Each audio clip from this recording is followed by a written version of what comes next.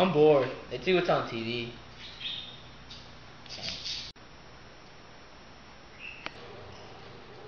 Mr. Chief Justice, members of the United States Congress, distinguished guests, and fellow citizens.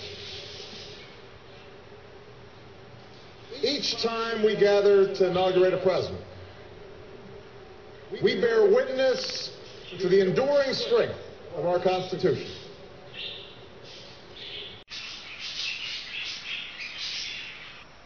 What? What is he talking about?